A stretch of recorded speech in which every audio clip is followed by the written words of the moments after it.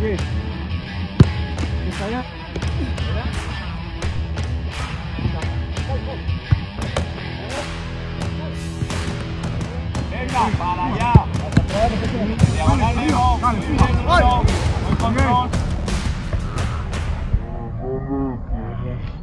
¿Y qué tal gente de Entre Arqueros? Sean bienvenidos a un nuevo video. Este es el top 5 de mejores guantes 2021.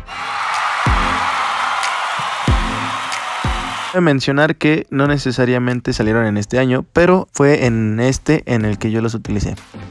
Empezamos con menciones honoríficas, Void Titan, un guante que me gustó muchísimo. Si bien su construcción es muy sencilla, entre sus principales virtudes destacan la increíble comodidad que te da.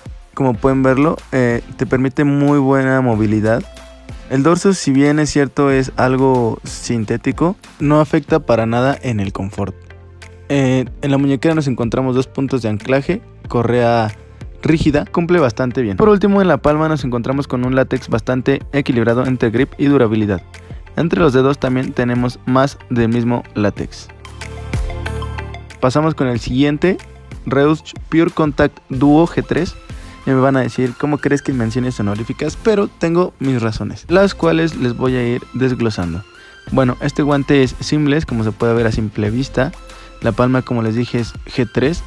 Si bien es cierto, la palma es de las mejores que puede haber. Ahí pueden ver cómo se queda marcada mi huella. Y eso quiere decir que es un látex muy suave. Lo que no me gustó es que combinar este corte, que es bastante delicado, con palma dúo hace que la erosión sea más rápida de lo normal. Entonces es por eso que eh, prácticamente este guante no entró al top.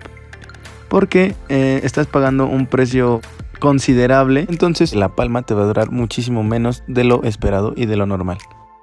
Mentirles, los he usado alrededor de cuatro veces y ya se encuentra eh, en esas condiciones el látex. Fuera de eso es un guante muy muy cómodo, bastante anatómico y pues el grip es muy bueno. La correa a pesar de ser de media vuelta es cumplidora, la verdad es que no tienes problema eh, con ella. Como ya lo dije es un guante que te transmite muchísimo confort, acompaña bastante bien los movimientos de los dedos y de la mano.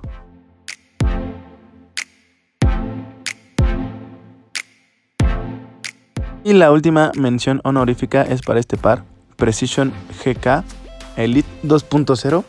Si bien pueden observar la construcción es muy parecida a la del Pure Contact, aunque este guante viene con un poquito más de armado, ahí pueden observarlo, látex eh, en los dedos, gel y en todo el dorso también el mismo gel. En la palma tenemos corte negativo, un poco más ancho, látex entre los dedos, palma extendida y en general es un guante muy equilibrado entre grip y durabilidad. Lo usé bastante, como ahí se puede observar. Este sí eh, lo usé muchísimas más veces. Pero el pero, y por lo cual no lo metí a el top, por lo que estamos viendo aquí, la muñequera y correa. Como les dije, es más ancho que el Pure Contact y realmente no ajusta para nada bien. Entonces el guante sí te baila. Fuera de eso, eh, es muy cómodo, lo tengo que decir. Muy, muy cómodo. Te permite muy buena movilidad, ahí se puede observar. Pero sí, eh, este detalle de la muñeca y de la correa sí es muy a considerar. Porque como pueden ver me sobran prácticamente un dedo eh, de la muñeca. Entonces sí te baila el guante. Es una sensación un poco incómoda. Y por eso es que no entró a el top. Creo que sí es un área de mejora importante para este guante.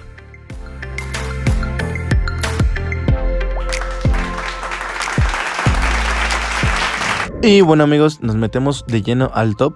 En el número 5 tenemos este par de la marca mexicana Rinat con el modelo Aries. Si bien es un modelo bastante polémico porque o lo amas o lo odias, para mí y mis necesidades como portero me parece un guante que cumple bastante bien mis demandas. Lo que más resalta en este guante eh, son los cortes geométricos que nos encontramos en los dedos exteriores, índice y meñique, ya que no es nada común ver este tipo de cortes y pudiera parecer que no tiene funcionalidad o que puede ser incómodo. Pero realmente no afecta nada y la verdad es que sí son muy cómodos. El dorso está montado en neopreno, nos encontramos con una correa de doble solapa, una muñequera igual de neopreno con una zona de licra para poder facilitar la entrada y salida de la mano al guante. Como les mencionaba, ahí está la doble solapa. palma extendida, el pull, que ya es clásico en Rinat. Y bueno, pues qué decir de la formulación de látex que tiene este guante la cual es la ya probadísima AXG. Y bueno, aquí podemos ver lo suave que es. Y bueno, otra característica que resalta mucho son las costuras que tiene justo en los dedos centrales, las cuales sí favorecen la flexión de los mismos y las cuales no llegan a ser incómodas. Se sienten muy muy poco por dentro realmente. Y como pueden ver es un guante que te transmite mucha movilidad y también mucha sensibilidad con el balón. Ese envuelto en el dedo índice y en el dedo meñique te permite tener mucha más superficie de contacto con el balón. El único pero que yo les pondré son estas bolsas que se forman en el dorso, que la verdad pudieran ser una buena área de mejora para el mismo. No llega a incomodar, pero sí podría lograr un mejor ajuste corrigiendo esa parte. Y bueno, este fue el número 5. Vamos ahora con el número 4. Se trata del Puma One al igual que muy ceñido a la mano. Podemos observar su construcción, está muy bien hecho. Y bueno, el látex que tenía este guante era el Ultimate Grip Latex. Eh, hasta hace poco era el látex de máxima adherencia de la marca. La palma extendida que podemos observar aquí, que también puede hacer las veces de tirador de pull. El corte que nos encontramos es roll finger con costuras negativas en los exteriores, negativo en los centrales y en el pulgar tenemos doble envuelto por la parte superior y por la parte inferior. En el dorso nos encontramos con este refuerzo de látex y también de inserciones de gel favorecen el despeje de puños y armado los cuales están montados en una especie de knit, pero la muñequera está hecha de una especie de neopreno elástico. Ahí se puede notar la división de materiales. Y con la correa nos encontramos con una elástica que favorece a poder ajustar la atención que nosotros le queremos dar al guante. Y en general, como les comentaba, es un guante muy cómodo que te permite una sensación de movilidad excelente y que realmente tienes muchísima sensibilidad al contacto con el balón. Cosa que en reiteradas ocasiones les he comentado que para mí es una de mis demandas en cuanto a guantes de portero. Este fue el número 4. Pasamos ahora al número 3 con este modelito de la marca inglesa con su modelo Schmeikology. Un modelo que fue en su momento diseñado para el portero danés cuando era patrocinado por la misma. Si se pueden fijar es una construcción bastante clásica de guante inglés. En el dorso nos encontramos mucho látex y qué decir de la palma.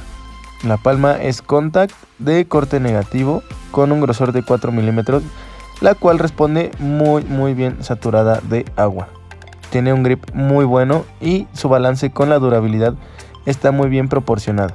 Un guante que al ser en su mayoría de látex es muy muy muy cómodo. Como pueden observar tenemos igual eh, látex entre los dedos ya que el corte es negativo. Está montado en un material transpirable, es textil y que además cuenta con la tecnología Wind Block Membrane, la cual se encarga de mantener una temperatura agradable en nuestra mano en situaciones adversas. Aquí podemos observar calidad de látex y lo suave que es. Este fue el número 3, Precision GK Smakeology. Vamos ahora con el número 2, con este par de la marca Elite Sport, con su modelo TC. Un guante bastante interesante con muchas características que vamos a ir desglosando poco a poco y el cual me encantó. Para empezar tenemos la muñequera la cual es elástica, ancha y la cual es muy muy cómoda. La correa es rígida de una sola vuelta y también tiene un cierto grado de grosor el cual te ayuda a tener buena fijación en la muñeca. Guante que te da un confort muy bueno, lo tengo que decir, y una movilidad excelente y esto se debe a las varias piezas que conforman el dorso como ahí lo pueden observar el cual está montado en textil transpirable y es de un material sintético. El pulgar es bastante armado ya que tiene doble envuelto por arriba y por abajo. El corte de este guante es negativo con látex entre los dedos y otra característica interesante es que tiene protecciones extraíbles, así que tú decides si utilizarlas o no o en su defecto en qué dedo colocar ciertas protecciones. Guante que la verdad sí viene un poco amplio a pesar de ser negativo y por eso se quedó en el top número 2.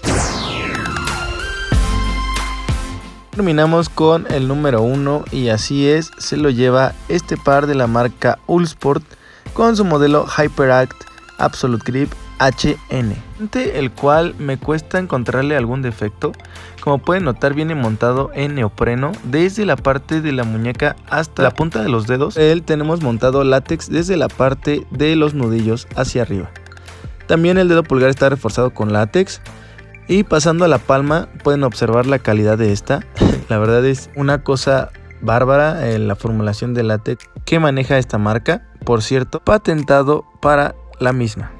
El corte de este es negativo con látex entre los dedos con microperforaciones como se pudieron observar para favorecer la ventilación. Si acaso el único pero que podemos poner es el dedo pulgar que no está envuelto, pero el látex compensa muy bien la falta de esta característica. La correa es de doble solapa, la primera solapa es del mismo látex de la palma Absolute Grip con esta pestaña para poder sujetarla y desabrochar. La segunda es de velcro y también tiene una pestaña para poder sujetar y desabrochar. Cabe mencionar que estas dos solapas tienen un grado de elasticidad para un mejor ajuste.